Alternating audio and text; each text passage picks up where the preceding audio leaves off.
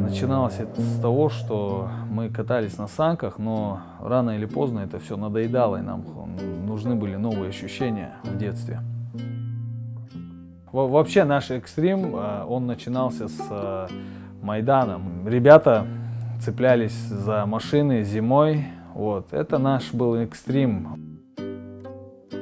В итоге мы выросли, уже цепляться было неудобно, так как машины э, стали обтекаемыми и без бамперов, которые были раньше на семерках, на шестерках.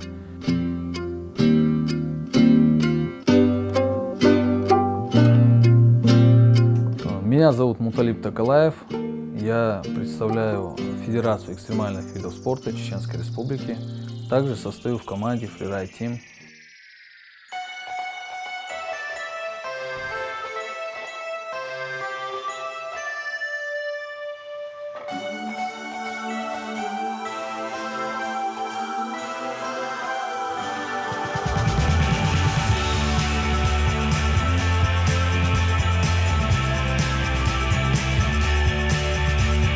Так как мне повезло а, родиться в горной части России, а, для меня горы стали доступными, и поэтому я занялся именно горным экстремом. Я занимаюсь даунхиллом и уже порядка четырех лет этим занимаюсь. Даунхилл – это скоростной спуск с горы на горном велосипеде. Там специализированный велосипед. Вот. А также я занимаюсь еще сноубордингом. Сноубординг стал для меня отдушиной от э, работы, от рутинной работы, которая преследует меня каждый день.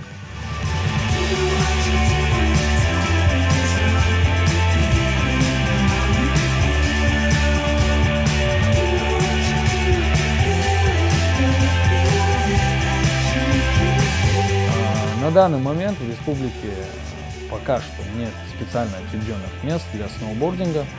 Вот, поэтому мы стараемся создать эти условия, пытаемся а, выезжать в разные вообще горнолыжные курорты, а также э, на разные мероприятия вообще в разных видах экстрима. Вот, и в последнее время у нас это удается, все больше и больше ребят увлекаются экстримом. Сноубординг есть трассовый и внетрассовый. Внетрассовый сноубординг называется фрирайдом. Трассовое катание им отличается и от фрирайда, что оно менее э, травмоопасным, потому что э, по фрирайду ты не знаешь, куда ты едешь, и можешь воткнуться то ли в дерево, то ли в камень. И если выбирать э, между фрирайдом и катанием на трассе, для меня все-таки фрирайд, он доставляет больше удовольствия.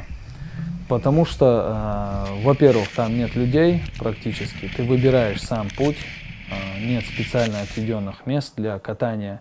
Вот. Но и э, в этом, мне кажется, больше экстрима, потому что ты не знаешь, э, что тебя ждет внизу. В этом и заключается экстрим. От этого ты получаешь больше эмоций.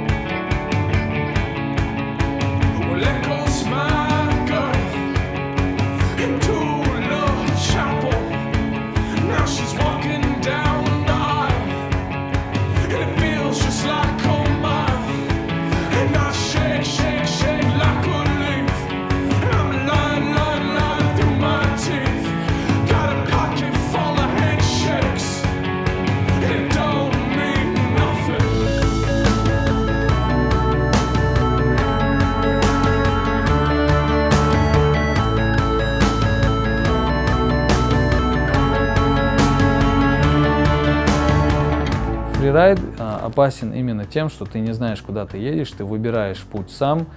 Вот. А, опасен тем, что можно сломать и руку, и ногу, ну, можно и насмерть убиться, в принципе. Но опять же, здесь играет роль подготовленность райдера. Перед тем, как отправиться куда-либо, мы выбираем маршрут сначала выбираем гору, а потом всячески изучаем маршрут. Чаще всего нам приходится подниматься все-таки пешком, потому что а, вертолет э, дорогое удовольствие, снегоходы тоже все бывает не по карману. Вот, так что мы поднимаемся пешком. Но в некоторых горнолыжных курортах есть э, подъемники, которые э, поднимают именно на вершину. Вот, и ты уже с этой вершины можешь э, скатиться как по трассе, так и по фрирайду.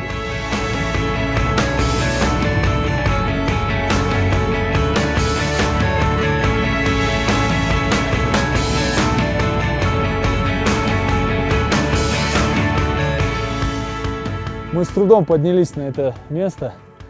Сейчас пытаемся спуститься. Выбираем э, точку старта. Вот. В любом случае нужно рассчитывать свои силы и нельзя терять голову. Все люди чем-то занимаются, помимо работы и учебы и вообще семейной жизни. У каждого человека должно быть э, свое личное пространство. И именно когда мы занимаемся сноубордингом, э, это дает нам лишний заряд энергии, который помогает нам и в работе, и э, в жизни в общем.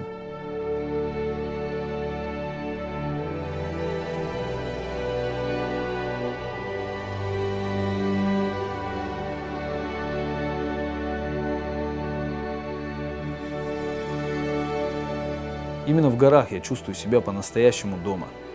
Это чувство нельзя передать словами. Чтобы меня понять, вам нужно побывать тут самим, прочувствовать всю мощь, всю эту энергию, которая окружает нас.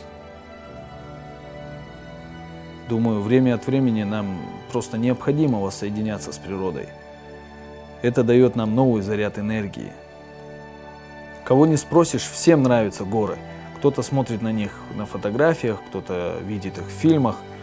Но, к сожалению, все чаще я вижу людей, которые думают, что не нуждаются в этом. Я отправляюсь туда добровольно. Ведь никакой экран не передаст то, что ты сможешь увидеть своими глазами. И если мы хотим достоверности, мы должны искать ее сами. Если честно, я новичок в этом деле. Но сноубординг уже стал для меня неизлечимой болезнью, симптомы которой я глушу очередным спуском.